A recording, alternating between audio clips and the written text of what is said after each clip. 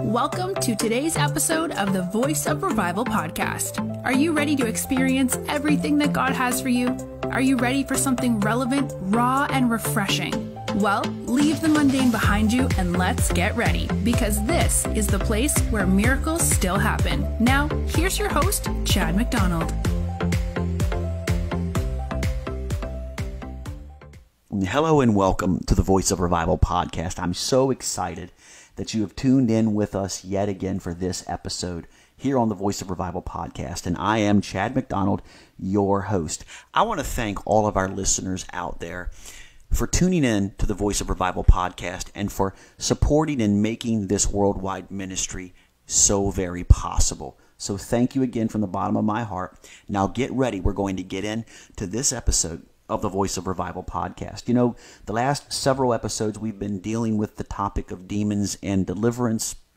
And with excerpts from my newest book, we've been discussing and talking about a, a, lot of issues out of my newest book, Casting Out Devils, a handbook for moving in the supernatural power of deliverance.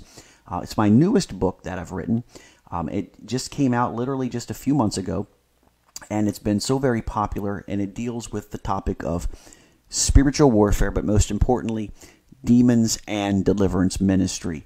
Um, the topic of deliverance ministry is often a neglected, neglected topic in the body of Christ. There are individuals who um, altogether um, oppose it or altogether um, shy away from it. They take the ostrich standpoint where they bury their head in the sand and act like demons don't exist, act like people aren't in bondage to evil spirits, or they act like it only happens on the faraway foreign fields. And, well, it doesn't just happen much here.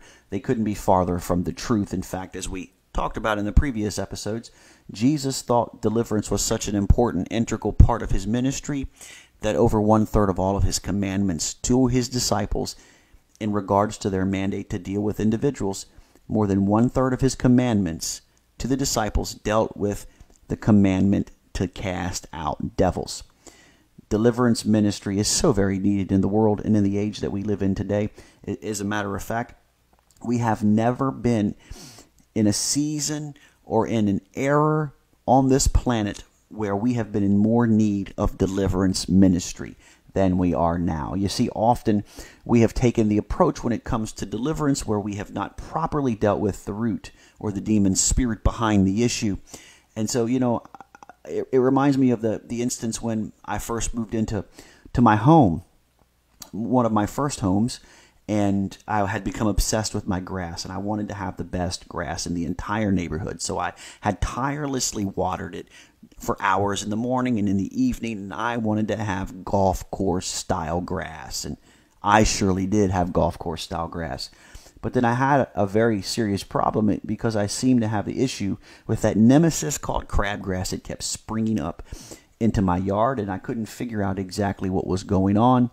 And so I had to get these things out. And so at first, I took the lazy approach by just mowing over it. And soon I realized that you could just mow over it and get rid of it rather quickly, except for about three days later, that crabgrass began to sprout back up again, and it would sprout back up in greater numbers because when you would mow through it, it would chop the chop the crabgrass up with the blade, but it would kick spores out into your grass, and so you would actually begin to spread it when you would mow over it, and it would never be a temp- uh, never be a permanent solution, just a temporary fix.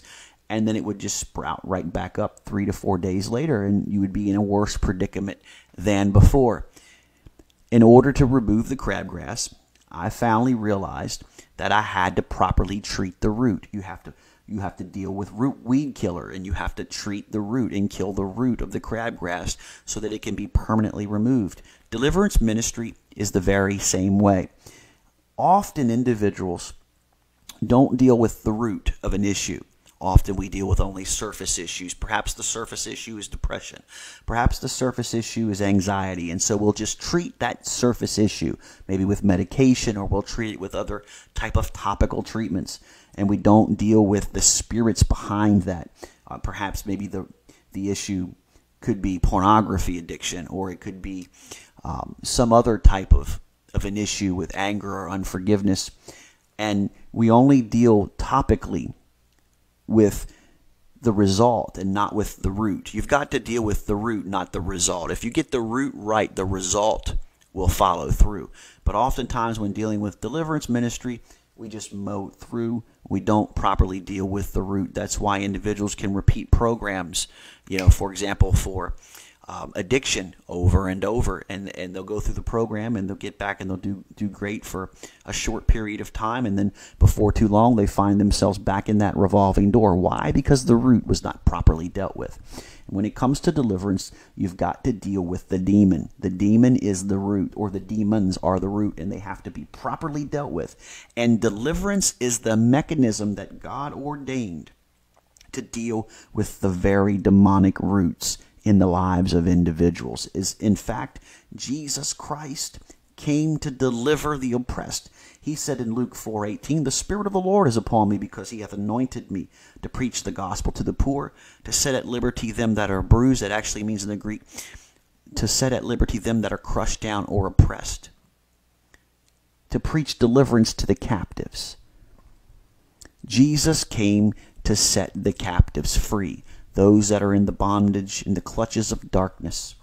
And so we've talked in, in the previous episodes of this podcast different entry points and entryways that, that demons are granted access into the lives of believers. And we talked about, I, I discussed three of the major entry points um, that demons are granted access. However, those are not the only entry points, but three of the major entry points, and I'll recap them again sexual sin, sexual immorality, um, uh, and inside that entry point or that access point or that portal of sexual sin, you know, it includes adultery, it includes fornication, it includes homosexuality, it includes different types of inordinate behavior and lust and, and unclean fantasies. And, you know, it's important when we're dealing, uh, understand this, if you're doing something sexually that makes you feel unclean or you're doing something sexually that makes you feel ashamed, okay? There's a high probability that what you're doing then is wrong. And it's the Spirit of God dealing with you in that area. So, but demonic entry points, uh, you know, you have the sexual sin entry point, number one. Number two is the drug abuse or drug addiction entry point. Um, and then number three is the occult entry point. Uh, people that deal with occultic items and they're involved in, in the underworld. They're involved with, um, you know, in seances and astrology and tarot cards and witchcraft. And um, perhaps you've brought items into your home that, you know, that are associated, that are considered to be accursed things that are associated with um, the realm of darkness. You know, for example, um, yoga and, for example, um, spirit catchers and, and all kind of different items uh, whether or not you intend for it to be used in that manner or whether or not you meant for it to be a certain demons don't care if you mean for it. If it belongs to them you've gained you've granted them access point or entry point. And so you have those three major areas. And most people that are in need of deliverance most people that have been involved in activities that have lent them to need to be delivered and most people that, that need to be delivered most of the time they have engaged in one of those three major entry points or are actively engaging in those entry points. Um, individuals that are involved in deep Satanism or deep occultism, things like that, usually incorporate all three of those major entry points. Sexual sin is always a part of rituals. Um, drug drug use is always a part of those rituals, and so those are the three major entry points. But they are not the only entry points. Um, uncrucified flesh, wherever you have uncrucified flesh in the life of a believer, it will always lend to a demon spirit being behind that, not far from that. Anywhere you can show, anywhere, I, anywhere there is unrepentant and uncrucified flesh in the life of an individual, okay, there will always be demon power not far behind. Demon power thrives in the uncrucified flesh. We're called to live and be led by the Spirit. And in fact, the fruit of the Spirit, there are nine fruit of the Spirit. And then the Bible goes on to list the works of the flesh. Well, and then the Bible scriptures continue to, you know, for example, now the works of the flesh are these adultery and fornication and lasciviousness and hatred and anger and variance and strife and, and murder and witchcraft and all of those things that the Galatians lists out as being the works of the flesh, or in other words, the manifestations of uncrucified flesh. In fact, they are manifestations of demonic activity in the life of an individual. And so there are several different type of entry points, but I want to talk specifically about the entry point of unforgiveness because unforgiveness is a major access point in the life of an individual that will throw wide open the door to demonic activity in the life of people. Jesus, Jesus tells us about unforgiveness in Matthew chapter 18, I believe it's verse 44, when he was giving the parable of the man who had been forgiven a large debt. And then that man had been forgiven a large debt, and then he had lent to someone, and that individual was not able to pay his debt back on time. And that and that man who had been forgiven the large debt, who had a debtor himself, was unwilling to forgive the individual who he had lent to. And because of that, the king who had originally forgave the man with the larger debt found out about the wickedness of this man. And the Bible says in Matthew 18, verse 44, Jesus said, And the man came, the king was wroth, and he took that man who was unforgiving, and he turned him over to the tormentors, and threw him in prison. Jesus was using a story or an allegory to describe the nature of unforgiveness. Well, the tormentors, in fact, are demon spirits. The tormentors are unclean spirits. And so when we are unwilling to forgive, we are turned over, in essence, to the tormentors. And the tormentors are demonic spirits in, in the lives of individuals. And so when we when people have been unwilling to forgive. You have to understand this when it comes to forgiveness. Forgiveness does not require you to be right or wrong. Forgiveness makes no distinction between whether or not you're the victim or not. You can be you can be justly abused. You can or for example, uh, you may have been the victim. You may have a reason to have truly been hurt. Someone may have done something horrible to you. However, that no matter how horrible it is, it does not negate the mandate and the requirement that you have to forgive. Now, you can forgive an individual and then not yield yourself to continue abuse. You can forgive an individual and walk away from them. You can forgive an individual and leave an abusive relationship. But you have to still forgive. You cannot harbor unforgiveness in your life and in your spirit. And so what happens is demon spirits exploit unforgiveness. They exploit unforgiveness in the in the sense and in the way that when an individual has been abused or have had horrible trauma done to them, that individual sometimes begins to harbor unforgiveness. And they harbor it and they begin to justify it by saying, well, you know, I was wrong. Someone stole from me. They abused me. They did uh, such and such to me. And, and I am right to harbor a grudge and to harbor hatred towards that individual because, after all, they hurt me and therefore I am entitled to not forgive them. They don't deserve my forgiveness. Unforgiveness is an offense to God because God sent His only Son to be nailed to a tree for you, to be nailed to the cross for you, to be beaten and to be bruised and to be battered and, and, to give His life a ransom for many. God sent his only son to pay the penalty for your forgiveness and my forgiveness and the entire world's forgiveness when we did not deserve it. And so when we refuse to forgive others, we are offending God as if we are saying to God, we are more important than his son. Because if Jesus could find it in himself to forgive us, we have to therefore be able to forgive others. That's why when Jesus was teaching the disciples to pray, and they said, Lord, teach us to pray. And he said, Okay, when you pray, say, Forgive us our debtors as we forgive those who have debted against us, or forgive our trespasses as we forgive those who trespassed against us. And Jesus goes on to say, For if you do not forgive those who have sinned against you, my Father in heaven will not forgive your sins. There is no ifs, ands, or buts in that. And so when we refuse to, to be forgiving. And when we are harboring unforgiveness, we open up the door to the tormentors, to demonic activity in the lives of individuals. And demon spirits are masters at exploiting hurt. They are masters at exploiting um, issues of trauma and areas. As a matter of fact, one of the ways that demons get in many times is because of severe trauma in the life of an individual, and sometimes through childhood. You know, a child will be horribly abused or horribly tormented by an individual, and then they'll that that torment and that abuse actually opens up their spirit to resentment and to anger and to frustration and and to bitterness and un, to unforgiveness and so that that entryway of trauma actually throws open their spirit. That's why individuals that are often abused as children grow up later to be abusers. Why?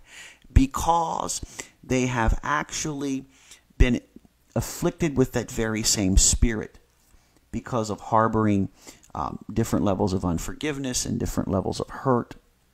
And so those spirits that were on the abuser have now gotten into them, and then they grow up to repeat that very same cycle.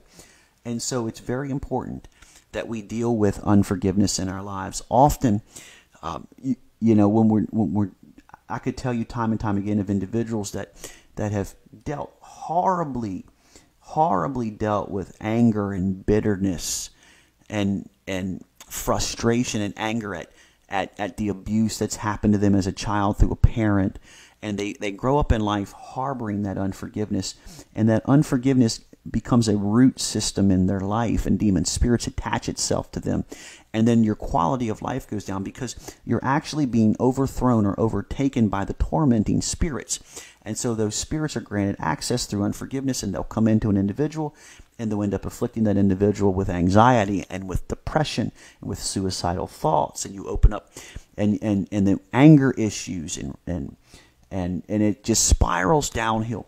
Unforgiveness, the root of unforgiveness, has to be pulled out. It has to be pulled out by the Spirit of God and the power of the name of Jesus Christ. And you can be delivered and free from unforgiveness. Please don't allow unforgiveness to open up access in your life. Many of you listening to this podcast are dealing with things in your life because there are areas and there are individuals that you have refused to, to forgive. There are individuals that have legitimately harmed you and you have suffered wrong by them. But you've you have been unwilling to forgive them and you've held on to that root of bitterness and that root of unforgiveness. And that root of bitterness and unforgiveness has opened up demonic activity in your life. It, it's it'll it will destroy your health.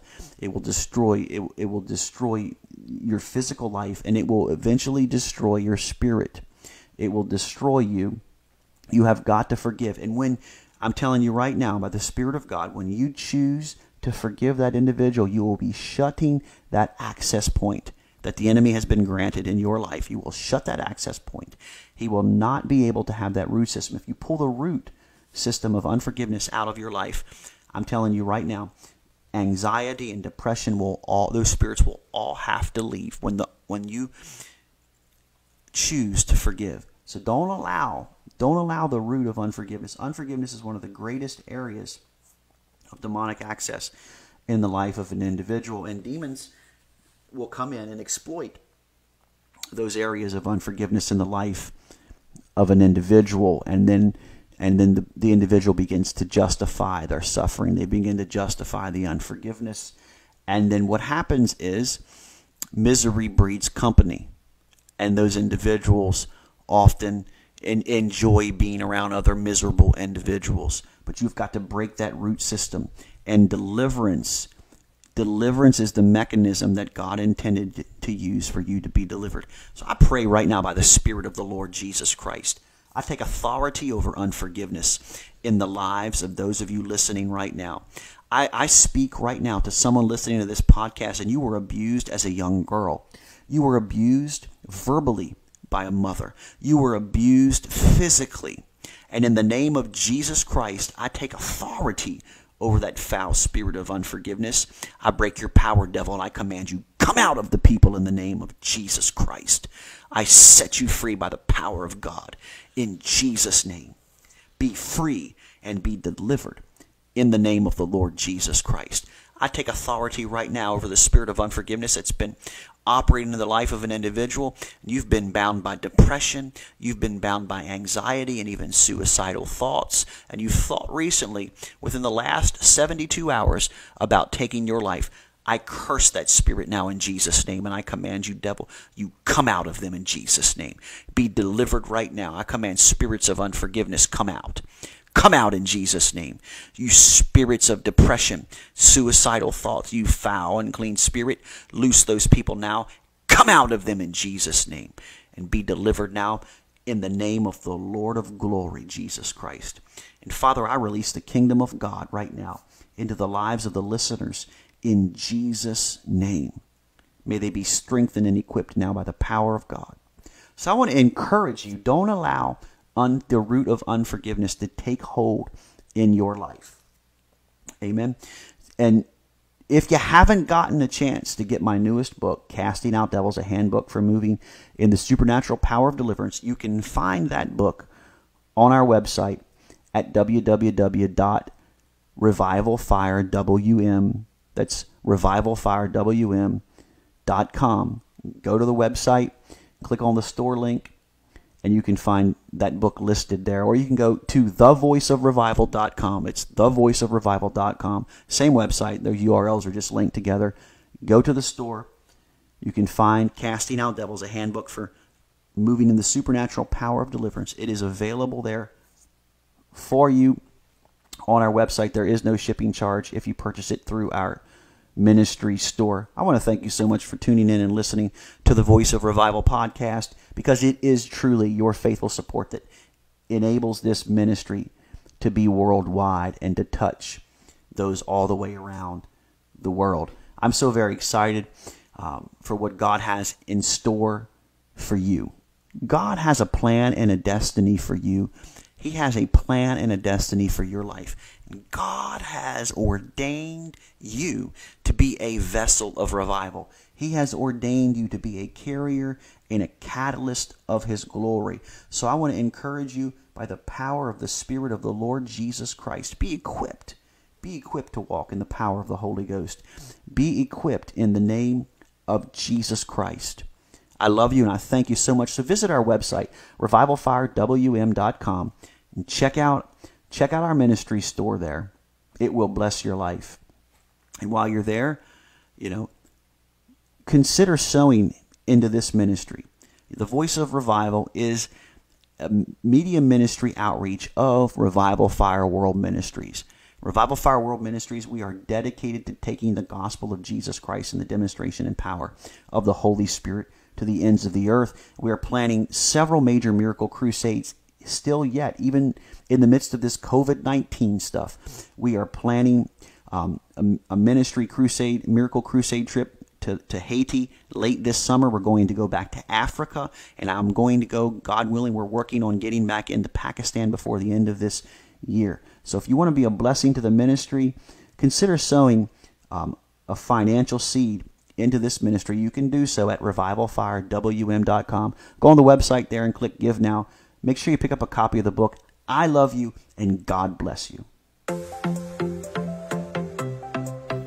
Listening to today's episode of the Voice of Revival podcast with Chad MacDonald. The Voice of Revival is a media ministry outreach of Revival Fire World Ministries. For books and resources, or to let Chad know how today's episode has blessed you, be sure to visit us on the web at www.thevoiceofrevival.com and follow Chad on social media at Revival Fire WM.